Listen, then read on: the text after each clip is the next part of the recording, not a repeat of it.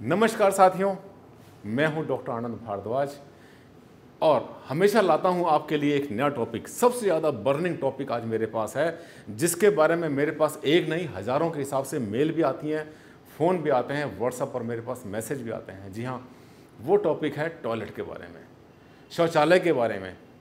ये होता क्या है, कहाँ होना चाहिए, कहाँ नहीं होना चाहिए और वास्तु क्या कहता है इसके बारे में? जब तक ये आपको पता नहीं चलेगा, तब तक आप अंधेरे में भटकते रहेंगे। क्योंकि इंटरनेट पर जो है आपको कोई क्लियर बताने के लिए तैयार नहीं है कि होना कहाँ चाहिए। उसका कारण ये नहीं कि उस कंसल्टेंट को पता नहीं है, पर हाँ खास बात यह है कि वो आपसे शेयर नहीं करना चाहते, आपको नॉलेज देना नहीं चाहते। लेकिन मैं आपको दिल से आपको नॉलेज दूँगा टॉयलेट के बारे में, शौचालय के बारे में।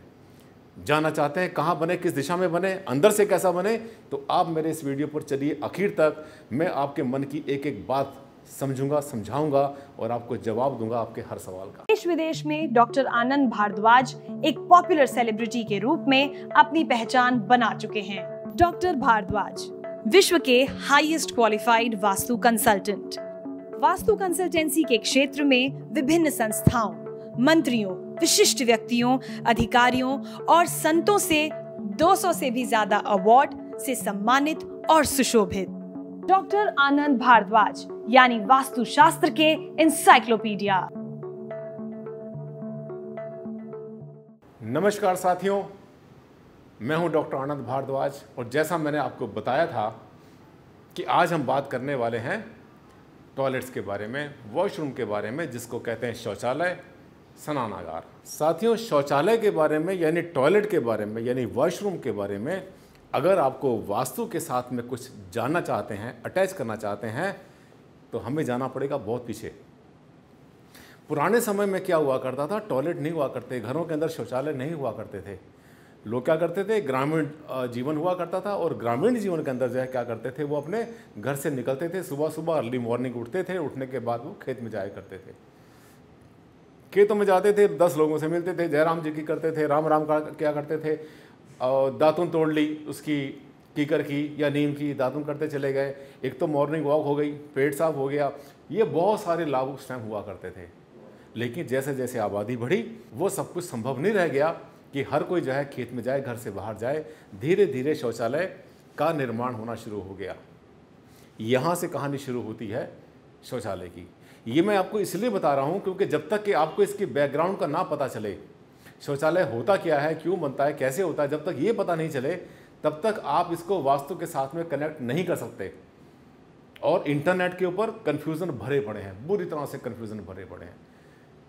अब, ये जो शौचालय था, जो पुराने समय में घर से बाहर जाया करते थे ये सिस्टम जैसा था, वैसा रहा, लेकिन धीरे धीरे आबादी बढ़ी और मकान पक्के बनने शुरू हो गए और नगरीकरण शुरू हो गया, अर्बनाइजेशन शुरू हो गया। तो जो अर्बन कल्चर थी, उसके अंदर जो है टॉयलेट, जो टॉयलेट थे, शौचालय थे, घर के अंदर बनने लाजमी हो गए।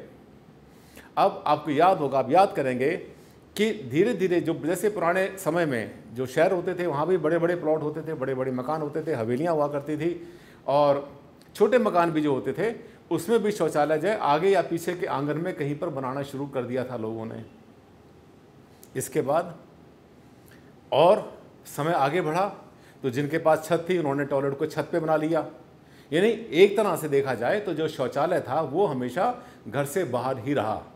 चाहे आँगन में रहा, घर के पड़ोस में रहा, किसी खाली प्लॉट में रहा, या फिर छत पे चला गया।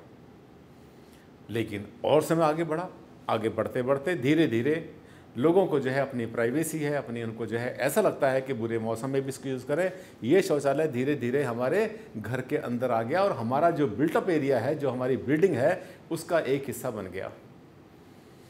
एक समय ऐसा भी गया है कि जब पूरे घर के अंदर एक शौचालय हुआ करता था और ऐसा समय भी गया कि जब नहाने की जगह अलग होती थी और शौचालय की जगह टॉयलेट के लिए लेटरिन के लिए जो जगह होती थी, वो अलग हुआ करती थी।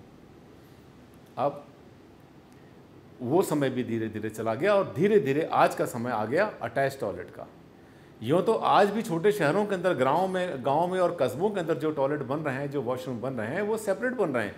अभी भी लोग लाइक नहीं करते, ये पसंद नहीं करते कि एक ही कमरे के अंदर बैठ के, छोटी जगह के अंदर बैठ के वहीं पर आप शौचालय यूज़ करते हैं टॉयलेट यूज़ करते हैं और वहीं पर आप नहा लेते हैं, इसको अभी लोग डाइजेस्ट नहीं कर पा रहे हैं। कोई बात नहीं अपनी अपनी कल्चर अपनी अपनी चॉइस अब आते हैं, वास्तुशास्त्र क्या करता है? वास्तुशास्त्र जो शौचालय के बारे में बात करता है तो आपको ये पता है कि शौचालय एक नेगेटिव चीज़ होती है। एक ऐसी जगह है जिसको हम कहेंगे नेगेटिव अब मैं आपको बताता हूँ क्या होता है।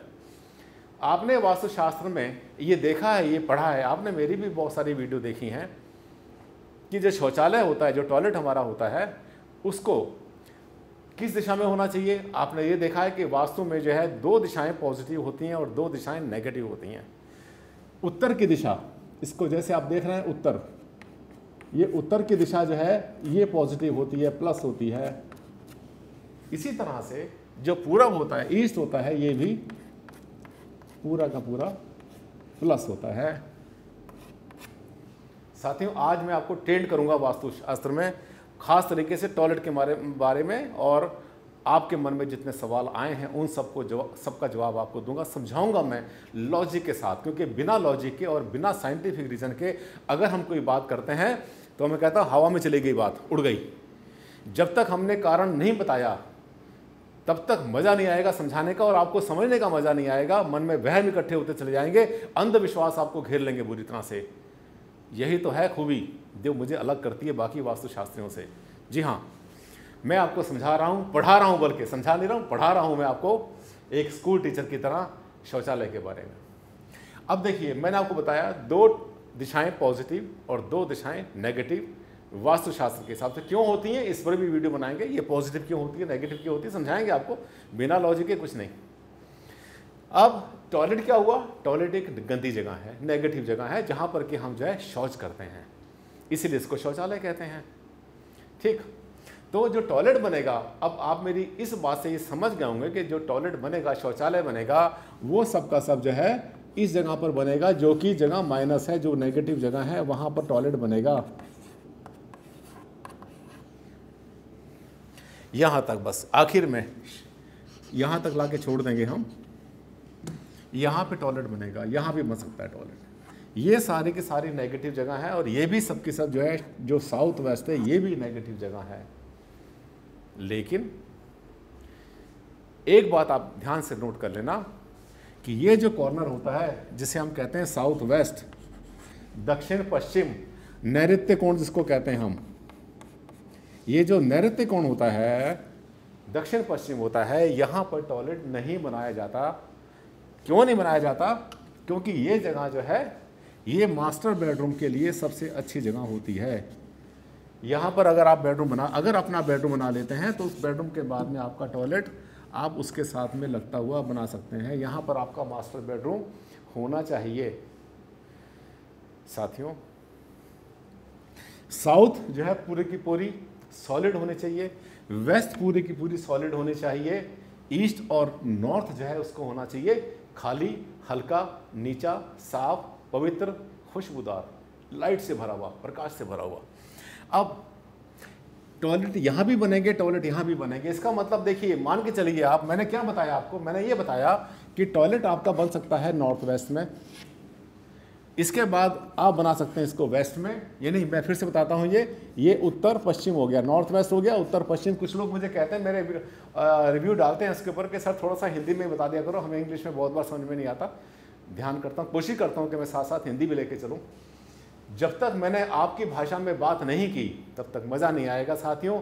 मैं बिल्कुल देसी तरीके से बात करता हूँ। जैसे आप लोग बोलते हैं, हम आपस में बैठ के बैठ के बात करते हैं, बिल्कुल वैसे समझाता हूँ। ठीक है? कोई लाग लपेट नहीं, कोई दिखावा नहीं। उत्तर पश्चिम हो गया, उसके बाद में पश्चिम हो गया। ये पश्चिम की दिशा हो गई।